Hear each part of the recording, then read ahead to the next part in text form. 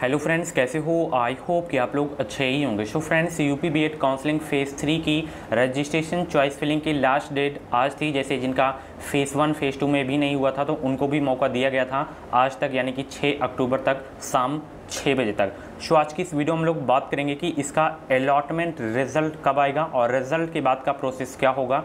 पूरा वीडियो आप लोग ध्यान से देख लीजिएगा। चलिए इस वीडियो को स्टार्ट करते हैं। और हाँ जैसे आपका फ़ेज़ वन फ़ेज़ टू में काउंसलिंग हो गया था कॉलेज भी मिल गया था, उसमें आप लोग अपनी फ़ाइनल फ़ीस नहीं जमा किए थे तो आठ तारीख तक आप लोग जमा कर सकते हैं। ओके आठ तारीख अभी डेट है, आठ अक्टूबर तक। चलिए हम बात करते हैं इसका फ़ेज़ थ्री का अलॉटमेंट रिज़ल्ट कब आएगा? और जो लोग जैसे फ़ेज़ टू में थे, वो लोग भी चॉइस फिलिंग किए हैं तो उनका भी कब आएगा? यहाँ पे देख सकते हैं डेट चेंज हो गई है, आप सभी को पता है। यहाँ पे देखिए डेट भी देख सकते हैं। आज लास्ट डेट थी इसकी, शाम छः बजे तक। ये देख सकते हैं सिक्स पी ओके अब यहाँ पे देखिए, सात अक्टूबर को बहुत सारे कमेंट आ रहे हैं कि फ़ेज़ थ्री का अलॉटमेंट रिज़ल्ट कब आएगा? तो सात अक्टूबर को जो है आपका अलॉटमेंट रिज़ल्ट आएगा, ठीक है?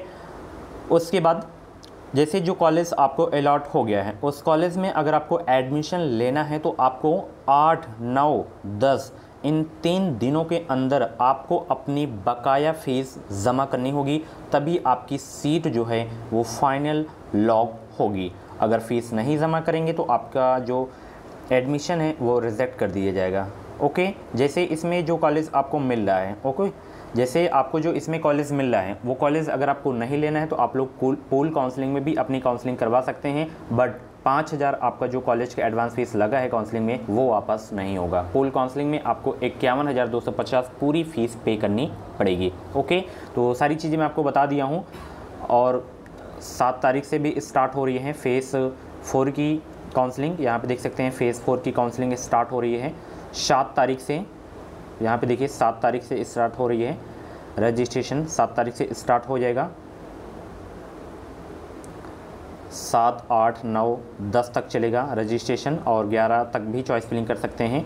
बारह को अलाटमेंट आएगा रिज़ल्ट उसके बाद तेरह चौदह पंद्रह। इन पंद्रह तारीख के अंदर अपनी बकाया फ़ीस जमा करनी होगी। शो फ्रेंड्स यही अपडेट आप लोगों की देनी थी।